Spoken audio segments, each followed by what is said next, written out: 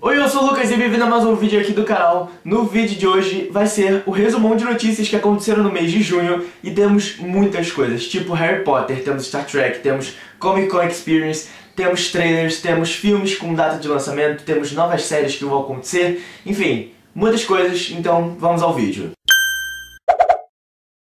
Uma das primeiras notícias que aconteceram no mês foram os anúncios da Comic Con Experience. Já ocorreram três anúncios de confirmados, de atores confirmados que vão para o evento lá no final do ano, mas o que eu mais gostei foi o Cal Urban, que é o cara que faz Star Trek. Ele também fez outras coisas super legais também, mas ele faz Star Trek. E começou nessa minha vibe de Star Trek, eu fiquei muito feliz por ele vir e eu também espero conseguir ir na CCXP desse ano. Falando em Star Trek, esse mês também saiu um novo trailer com a música original da Rihanna para o filme. Se você quiser ouvir a música, eu vou deixar aqui na descrição, assim como também vou deixar aqui na descrição o trailer com a música dela. Esse mês também foi o lançamento da peça The Cursed Child e, junto com o lançamento, a J.K. lançou um videozinho falando Keep the Secret, que é pra você não contar spoilers pela internet ou pelo mundo. No começo do mês saiu a primeira imagem oficial da peça. Tem a filha da Hermione com o Rony e também tem lá em cima as bandeiras das casas nessa nova versão. Esse mês também tivemos outras duas novidades que foram direcionadas também para Harry Potter, mas já voltado para Animais Fantásticos Onde Habitam. A primeira delas foi que a J.K. ela apresentou quem era o Newt Scamander, ela explicou quem ele é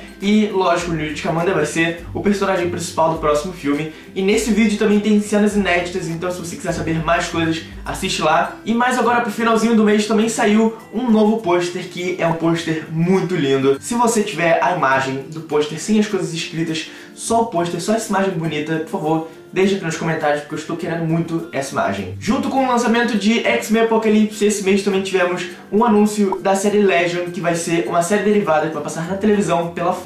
Essa série vai falar sobre um cara que os médicos dizem que ele tem problemas porque ele ouve e vê coisas. Só que depois ele vai perceber de que na verdade essas coisas são reais, elas existem. E, lógico, ele provavelmente deve ser um mutante. O personagem principal que tem esses probleminhas se chama David Haller e nas HQs ele é o filho do professor Xavier só que não se sabe se isso vai realmente continuar para a série de TV.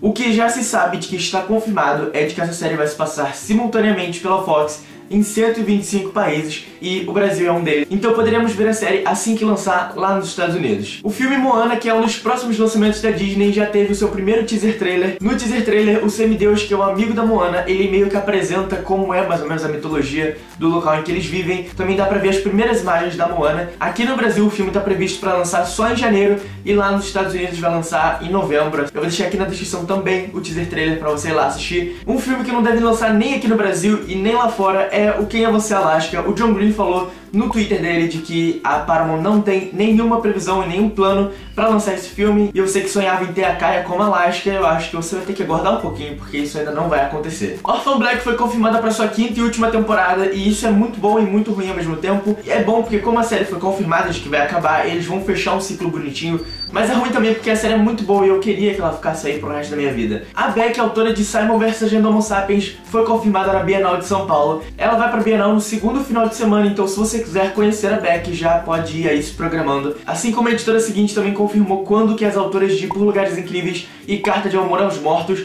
vão para a Bienal. Elas duas vão para o Bienal no primeiro final de semana. Eu vou deixar aqui na descrição o link certinho para você ir lá e se programar. Tem lá os dias certinhos em que elas vão. E essas duas autoras também vão passar por outros lugares no Brasil. Já tem também locais e datas confirmados. Como eu disse, vou deixar aqui na descrição tudo certinho para você ir lá e se programar. E a última notícia, mas não menos importante, é de que o filme Extraordinário ganhou uma data de lançamento. O filme vai estrear no dia 7 de abril de 2017. Vai ser logo no começo do ano que vem e isso é muito bom porque a gente não vai precisar esperar tanto assim. Eu só espero que eles lancem logo um trailer porque eu estou muito ansioso para esse filme. Se você sabe de uma outra notícia ou novidade que aconteceu no mês de junho e eu não comentei aqui, deixa aqui nos comentários. E é isso. Se você gostou do vídeo, deixa o joinha aqui embaixo, se inscreva aqui no canal se você ainda não é inscrito, me siga nas redes sociais, são todas estante quadrada. E é isso. Nos vemos no próximo vídeo.